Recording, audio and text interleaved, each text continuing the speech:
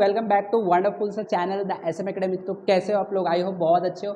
आज का जो लेक्चर है, इस लेक्चर में we are going to discuss about different forms of energy जो हम लोगों को एनर्जी मिलता है for doing various type of work जो भी हम वर्क करते हैं, वो वर्क करने के लिए जो भी हमें एनर्जी मिलता है वो एनर्जी किस तरीके से, कौन से फॉर्म में हम लोगों को मिलता है from the food that we are going to discuss in this particular video आपको सारे कंसेप्ट में क्लियर करके दूँगा जस्ट आपको इस लेक्चर को, इस वीडियो को लास्ट तक पूरा देखना है। So without wasting our time सब लोग रेडी हो जाओ नोट्स बनाने के लिए let's begin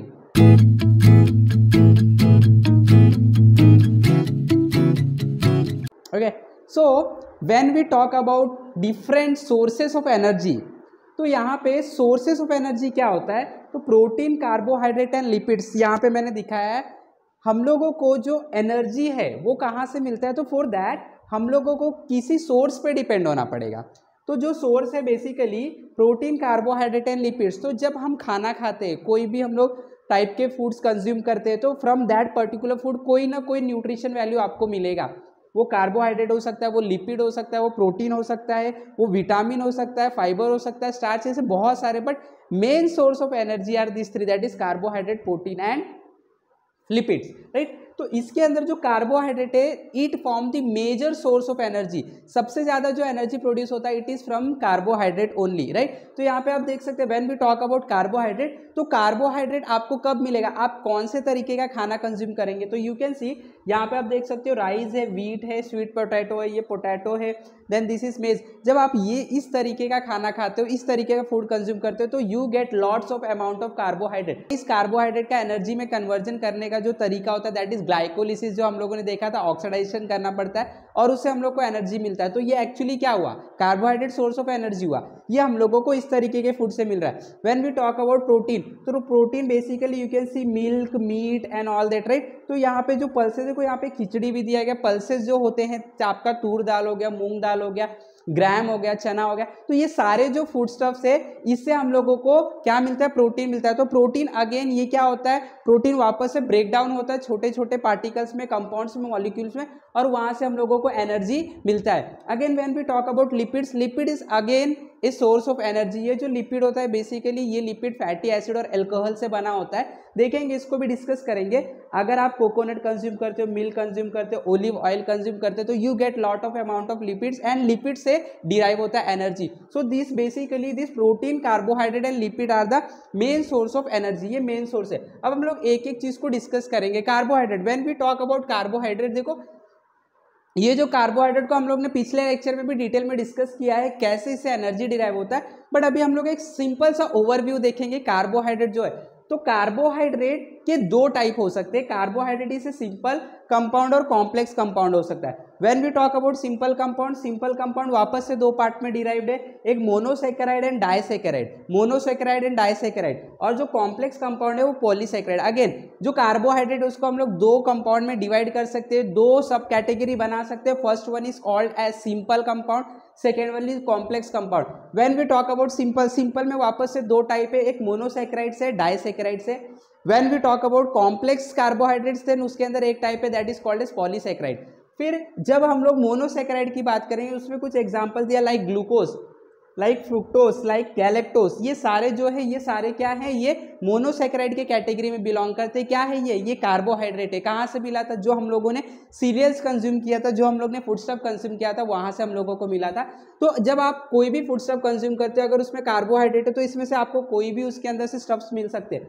When we talk about disaccharides तो डाइसेक्राइड्स में माल्टोस लैक्टोस सुक्रोस ये अलग टाइप के, ये तीन टाइप के आपको इसके अंदर क्या मिल जाते हैं? कार्बोहाइड्रेट मिल जाते हैं। When we talk about complex compound of carbohydrate that is polysaccharide इसके अंदर स्टार्च फाइबर और ग्लाइकोजन होता है। तो ये इस तरीके से जो कार्बोहाइड्रेट है कार्बोहाइड्रेट को हम लोग अलग अलग तरीके से हमारे बॉडी में पहचान सकते हैं अलग अलग तरीके के कार्बोहाइड्रेट होते हैं, जिसके अंदर से the major important one is glucose this glucose is the very simpler form of carbohydrate which is present, which is present in any type of food stuff right? और इसी ग्लूकोज का हम लोग क्या करते हैं? ग्लाइकोलिसिस करते हैं, जिससे हम लोगों को एनर्जी डिराइव होता है राइट right? तो देखो ये जो कार्बोहाइड्रेट होता है carbohydrate are rich source of energy it is very rich source of energy it is made up of simpler and more complex molecule बहुत सारे सिंपल या कॉम्प्लेक्स जैसे आपने देखा simple means monosaccharide and disaccharide then complex mean polysaccharide right excess amount of carbohydrate are stored in the body in the form of the complex compound glycogen जब आपका carbohydrate excess हो जाता है आपके बॉडी में तो जो एक्सेस यानी कि जो ज़रूरत से ज़्यादा कार्बोहाइड्रेट बचा है, वो आपके बॉडी में स्टोर होता है बिकॉज़ कार्बोहाइड्रेट से तो एनर्जी मिलेगा। तो कौन से? कॉम्प्लेक्स फॉर्म में स्टोर हो जाता है ग्लाइकोजन पॉलीसेक्राइड के फॉर्म में स्टोर हो जाता है। और आपको पता है कैसे एनर्जी मिलता है? जो ग्लूकोज है, यानी कि कार्बोहाइड्रेट है, उसको ऑक्सीडाइज करो। ऑक्सीडाइज से आपको एटीपी के फॉर्म में एनर्जी मिलता है और बाय प्रोडक्ट में आपको वाटर और कार्बन डाइऑक्साइड की गैस मिलती है। So this are some of the ideas about carbohydrate अब हम लोग सेकेंड सोर्स पर बढ़ते हैं प्रोटीन अब ये प्रोटीन क्या होता है उसको देखेंगे। तो प्रोटीन सबसे पहले कहाँ से मिलता है? मैंने आपको बताया था, प्रोटीन आपको healthy diet that is meat, egg, dairy product, ये सब जब आप खाओगे, पल्सेस खाओगे तो आपको क्या मिलेगा? प्रोटीन मिलेगा। Again protein is a source of energy तो हम लोग को वो कंज्यूम करना पड़ेगा। अगर हम लोग फास्ट फ़ूड खा रहे तो it is not a good source of energy तो वो आपको खाना नहीं चाहिए। आप लोगों को एक बैलेंस डाइट कंज्यूम करना चाहिए so that you get good amount of energy your growth is well and good right तो इसके लिए प्रोटीन जो है this is very important source अब ये प्रोटीन किस तरीके से बनता है, पहले हम लोग उसको डिटेल में समझने की कोशिश करेंगे। So when we talk about protein of many amino acid, ये अमीनो एसिड से बने होते हैं। लेट से जैसे हम लोग देखते हैं, यहाँ पे मैंने एक अमीनो एसिड बना लिया। अमीनो एसिड का स्ट्रक्चर कैसे होता है? ये केमिकल स्ट्रक्चर है। इसके अंदर एक ग्रुप प्रेजेंट होता है C O O H C double O H जो ग्रुप किसी भी कंपाउंड के साथ अगर दिख जाएगा तो वो क्या होगा? एसिड होगा। क्या होगा? वो एसिड होगा। तो यहाँ पे आप देख सकते हो, ये कोई कंपाउंड है राइट और यहाँ पे क्या दिख रहा है आपको? सी डबल ओ एच दिख रहा है। तो ये क्या है? एसिड है। कोई तो एसिड है। तो मैंने आपको बता दिया प्रोटीन किससे बना होता है? बहुत सारे अमीनो एसिड से। तो यहाँ पे एक अमीनो एसिड आ गया और भी अमीनो एसिड को हम लोग बुला लेते क्या ये अमीनो एसिड? चलो और भी अमीनो एसिड को हम लोग बुला लेते तो ये बहुत सारे अमीनो एसिड आ गए। अब ये अमीनो एसिड जब कंबाइन होते हैं वेन दे कंबाइन तो हम लोगों को क्या मिलता है? हम लोगों को प्रोटीन मिलता है। क्या मिलता है? हम लोगों को प्रोटीन मिलता है। सो so, कैसे प्रोटीन मिल रहा है? हम लोग को समझ में आ गया। When many amino acid combine together we get a protein तो जब हम लोग कोई भी खाने को कंज्यूम करते हैं, अगर उसके अंदर से हमें प्रोटीन मिल रहा है तो उसका ब्रेकडाउन होगा तो क्या मिलेगा? अमीनो एसिड मिलेगा। क्या बनेगा? Amino acid because amino acid मिलके ही प्रोटीन बना है तो प्रोटीन को वापस तो तोड़ोगे तो क्या मिलेगा? अमीनो एसिड तो क्या समझ में हम लोग को? हम लोग को समझ में आया protein are made up of large number of amino acid protein are made up of large number of amino acid carbohydrate are made up of glucose carbohydrate are made up of glucose polysaccharides monosaccharides right वैसे ही proteins are made up of large number of amino acid when this amino acid come together we get a protein आया समझ में right so now protein का कुछ हम लोग characteristic देखते हैं. Protein are form by bonding many amino acid clear है? एकदम perfect we get four kilo calorie of energy per gram of protein अगर आप एक ग्राम प्रोटीन कंज्यूम करते तो you get four kilo calorie of energy काफ़ी energy है। Amino acids are obtained after digestion of protein जब protein digest हो रहा है, जब हम खाना कंज्यूम करते हो डाइजेशन होता है। डाइजेशन में क्या होता है? डाइजेशन में वो जो एनर्जी का सोर्स है, चाहे वो कार्बोहाइड्रेट है, चाहे वो प्रोटीन है अमीनो एसिड जो भी है, वो ब्रेक डाउन होते हैं। तो अगर प्रोटीन का डाइजेशन हो रहा है तो क्या हो रहा है? प्रोटीन ब्रेक डाउन हो रहा है। अगर प्रोटीन ब्रेक डाउन हो रहा है तो क्या मिलेगा? अमीनो एसिड मिला है। क्या मिलेगा? अमीनो एसिड राइट तो ये यहाँ पे दिया गया हमें those amino acids are absorbed in the body and transported to each organ in cell via blood very important अब ये प्रोटीन का डाइजेशन हो गया। प्रोटीन अपने आप को किसमें कन्वर्ट कर लिया? बहुत सारे अमीनो एसिड अब ये जो अमीनो एसिड होता है, ये अमीनो एसिड पूरे बॉडी तक ट्रैवल करता है with the help of blood ये अमीनो एसिड ब्लड में चला गया. ब्लड क्या होता है? ब्लड तो पूरे बॉडी में फ्लो होता है. तो ब्लड इस अमीनो एसिड को हर एक ऑर्गन हर एक टिश्यू हर एक सेल तक पहुंचाता है. क्यों? क्योंकि ये अमीनो एसिड जो होता है, ये अमीनो एसिड हम लोगों का सेल का ग्रोथ करता है.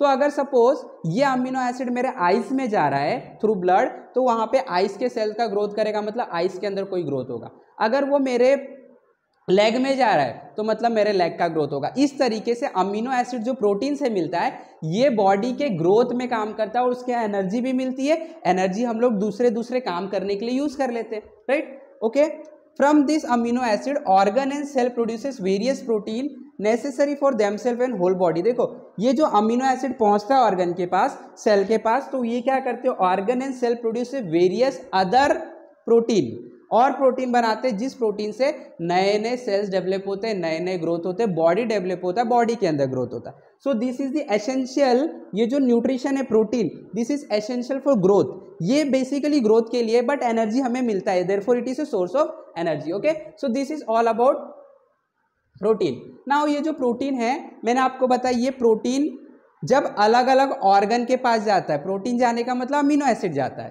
तो वो ऑर्गन किस तरीके के नए नए एसिड्स बनाते हैं उसका क्या काम है उसे देखो। ये क्या अमीनो एसिड प्रोटीन डाइजेस्ट हुआ ब्रेकडाउन हुआ अमीनो एसिड मिला। अगर ये अमीनो एसिड स्किन में जाता है, किधर जाता है?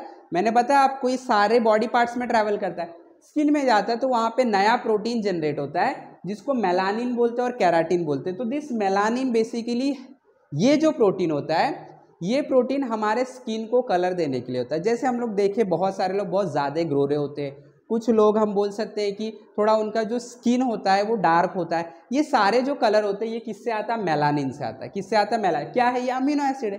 प्रोटीन है। कैराटिन की अगर मैं बात करूँ तो कैराटिन जो होता है हेयर ग्रोथ के लिए होता है। हेयर का स्ट्रेंथ, हेयर का कलर, ये सब ये कौन डिसाइड करता है? कैराटिन। तो अगेन, क्या है ये? जो अमीनो एसिड है, ये किसका हम बोल सकते काम कर रहा है। ये डेवलपमेंट का काम कर रहा है। आपके बाल कैसे होने चाहिए? बाल का कलर क्या होना चाहिए? बाल का ग्रोथ होना चाहिए। ये उसका काम कर रहा है। तो वैसे ही प्रोटीन का मेजर काम क्या है? ग्रोथ का। ओके अगर बोन्स में जा रहा अमीनो एसिड तो वहाँ पे ओसीन करके एक हम लोगों का क्या ग्रोथ करेगा? अगर बोन्स में जा रहा अमीनो एसिड तो ओसिन प्रोटीन बनाएगा, जो कि बोन के ग्रोथ के लिए डेवलपमेंट के लिए बहुत अच्छा होता है। अगर ये अमीनो एसिड सेल्स में जाता है तो एंजाइम बनेंगे अलग अलग तरीके के एंजाइम जो फ़ूड में मिक्स करना ब्लड के जितने भी केमिकल्स है उसके लेवल को कंट्रोल करने में काम आता है। अगर अमीनो एसिड पेनक्रियाज में जाता है तो वहाँ से नया आपको प्रोटीन मिलेगा इंसुलिन ट्रिप्सिन जो कि ब्लड के अंदर ग्लूकोज लेवल शुगर लेवल को कंट्रोल करने के काम में आता है। अगर आपका अमीनो एसिड पिट्यूटरी ग्लैंड में जा रहा है तो बहुत सारे हार्मोन जनरेट होंगे। जो भी आपका रिप्रोडक्शन के हार्मोन्स है, जो भी आपके ग्रोथ के हार्मोन्स है, वो सारे हार्मोन जनरेट होंगे। अगर ये अमीनो एसिड मसल में जा रहा है एक्टिन मायोसिन मसल का डेवलपमेंट होगा अगर ब्लड में जा रहा है तो वहाँ पे हीमोग्लोबिन एंटीबॉडीज आएँगे, जो कि ब्लड का स्ट्रेंथ ब्लड का जो हम बोल सकते हैं पावर होता है, उसको कंट्रोल करते हैं। ब्लड के अंदर क्लोथिंग के फैक्टर को मेजर करते हैं, बहुत सारे अलग फैक्टर को। So hence protein is very important तो आपको बैलेंस डाइट कंज्यूम करना है प्रोटीन उसके अंदर होना चाहिए अदरवाइज़ आपका जो ग्रोथ है, वो स्टैगनेट हो जाएगा, रुक जाएगा। बहुत अच्छी तरीके से ग्रोथ नहीं होगा। तो very important this protein is so इसका आपको इंपॉर्टेंस जो है, वो याद रखना है समझ में आ जाना चाहिए क्या इंपॉर्टेंस है उस तरीके से आपको अपने डाइट में हमेशा प्रोटीन कंज्यूम करना in proper proportion okay so this is all about protein now let us proceed to next one that is lipids अब लिपिड्स क्या होता है मैंने आपको बताया? देखो कार्बोहाइड्रेट हो गया प्रोटीन समझ लिए।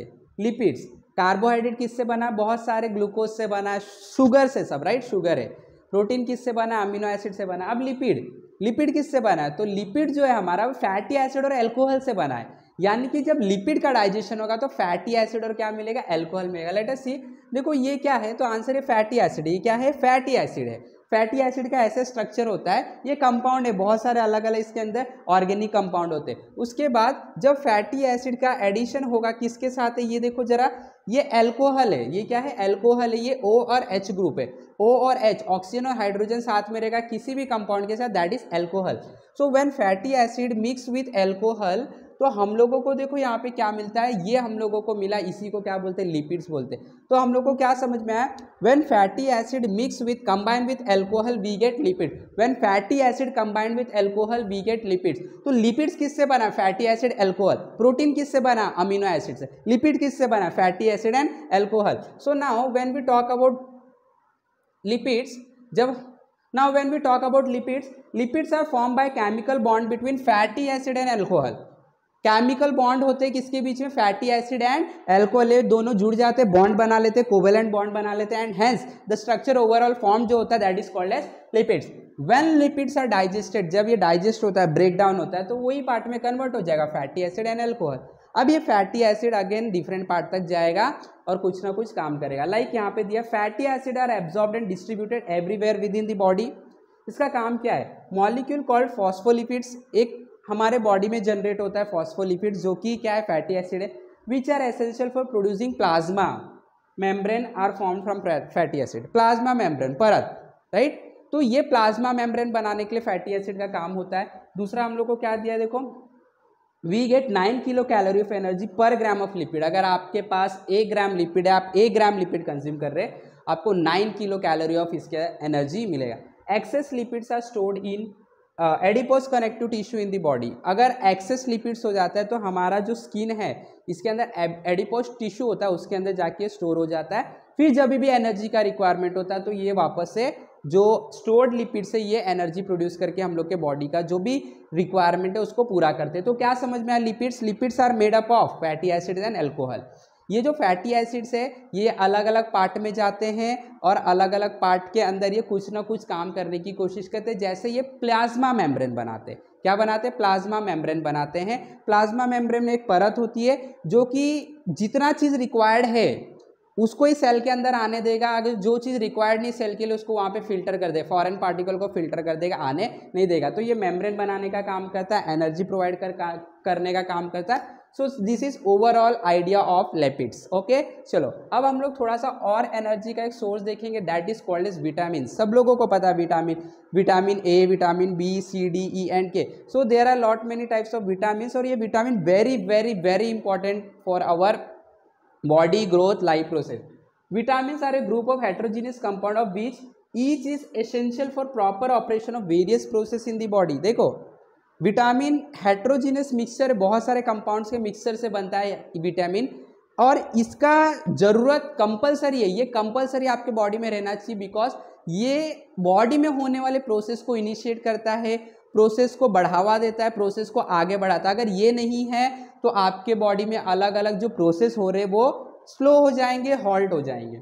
There are main main six type of vitamin that is A B C D and K ये सिक्स मेन टाइप के विटामिन हमारे बॉडी में पाए जाते हैं। इसमें से out of this A D E and K they are fat soluble fat soluble मतलब घी ऑयल में ये सॉल्यूबल हो जाएँगे डिजॉल्व हो जाएँगे। Whereas B and C ये जो बी एंड सी है they are water soluble water में डिजॉल्व हो जाते हैं। क्लियर याद रखने का A B C D E and K जिसमें से A D E and K are fat soluble B and C are water soluble vitamin like riboflavin vitamin B two इसको बोलते हैं राइबोफ्लाविन है या तो nicotinamide vitamin B three respectively ये जो विटामिन होते हैं, बहुत इंपॉर्टेंट होते हैं दे आर नेसेसरी बहुत ज़रूरी है for the production of NADS two and F two NADS two F two क्या था? ग्लाइकोलिसिस में, देखो ये प्रोडक्ट बन रहा था, जिसकी वजह से हम लोगों का क्रैप साइकिल आगे बढ़ रहा था राइट तो इसके प्रोडक्शन के लिए विटामिन की बहुत ज़रूरत पड़ती है। अगर आपके बॉडी में विटामिन नहीं है, ये बी थ्री विटामिन नहीं है ओके तो N A D S two F A D S two का जो प्रोडक्शन है वो स्लो हो जाएगा, जिसकी वजह से ग्लाइकोलिसिस का प्रोसेस स्लो हो जाएगा, जिसकी वजह से एनर्जी का प्रोसेस भी आपके बॉडी में स्लो हो जाएगा तो कुछ ना कुछ प्रॉब्लम आने लगे। So this is overall view overall idea of vitamin अब हम लोग थोड़े और एसेंशियल एलिमेंट्स पे आ जाते हैं जो हमारे बॉडी के लिए रिक्वायर्ड है that is water and fibers चले सबसे पहले पानी की बात कर लेते हैं। सब लोगों को पता है, जल ही जीवन है है ना? तो पानी ही लाइफ है लाइफ प्रोसेस पानी water total body is made up of water let us see there is about 65 to 70 percent water in our body 75 percent water है, बाकी 25 परसेंट जो है अदर प्रोडक्ट है right seven contain 70 percent weight of this one there is about 60 to 75 percent water in body each cell contain 70 percent water weight by weight हर एक cell के अंदर भी 70 percent पानी है और बाकी अदर ऑर्गेनिल्स है। Blood plasma also contain 90 percent of water blood के अंदर जो प्लाज्मा सेल्स होते हैं, वो भी 90 परसेंट वाटर कंज्यूम करते the function of cell and thereby whole body disturb even if there is a little loss of water from the body hence water is essential अगर ये पानी की कमी हो जाएगी, देखो सारे जो भी ऑर्गेनिल्स है ऑर्गन से सब लोग पानी से बने हुए पानी उनके अंदर ज़्यादा है और इसी पानी से वो आगे का काम करते हैं, जो भी ग्लाइकोलिसिस का काम है ऑक्सीडेशन का काम है एनर्जी प्रोडक्शन का काम है, जो भी काम है। तो अगर ये पानी की कमी होगी तो ये वाला जो प्रोसेस हो रहा है, ये हॉल्ट हो जाएगा स्टॉप हो जाएगा, कम हो जाएगा स्लो हो जाएगा, जिससे कोई ना कोई प्रॉब्लम आने लगेगा। इसके लिए it is very important to drink lot of water during a day अच्छे से ज़्यादा पानी पियो क्लीन वाटर पियो ओके और ये वाटर जो है, आपके अंदर जो भी प्रॉब्लम है, वो प्रॉब्लम को दूर करता है। Water is very essential for your life next one fiber along with above mention जो भी हम लोग ने देखा carbohydrate protein vitamins, lipids, water. Along with this, fiber are also essential. Fiber are also essential. In fact, we cannot digest the fiber. However, they help in digestion of other substance. Fiber जो होता है वो हम लोग digest नहीं कर पाता हमारा बॉडी बट ये फाइबर दूसरे प्रोडक्ट को डाइजेस्ट करने में मदद करता है और ये जो फाइबर होता है कि see and digestion of undigested substance ये जो फाइबर होता है ये फाइबर खुद तो डाइजेस्ट नहीं होता है बट दूसरे का डाइजेशन में प्रोसेस करता है, दूसरे जो भी कंपाउंड्स हैं उनको डाइजेस्ट करने में हेल्प करता है एंड जो भी वेस्ट प्रोडक्ट है, ये बाहर बॉडी के एलिमिनेट करने के काम में यूज़ होता है fiber okay we obtain the fiber from leafy vegetable fruit cereals etcetera और ये भी ज़रूरी होता है हमारे बॉडी के लिए। हम लोग लीफी वेजिटेबल से फ्रूट से, ये जो न्यूट्रिएंट्स है fiber that we obtain so I hope कि सब लोगों को बहुत अच्छे से कंसेप्ट समझ में आ गया है। फटाफट आज के, आज इसको पढ़ लेना है। और आपका प्यार तो दिखाना है। फटाफट लाइक कर दो वीडियो को शेयर कर दो। नए हो चैनल पर तो सब्सक्राइब कर दो। दोस्तों को भी बताओ, सब लोगों को बताओ। हमारे चैनल से जुड़ जाओ। डिस्क्रिप्शन में बहुत सारे लिंक है, उससे जुड़ जाओ। Till then have wonderful learning have wonderful day thank you very much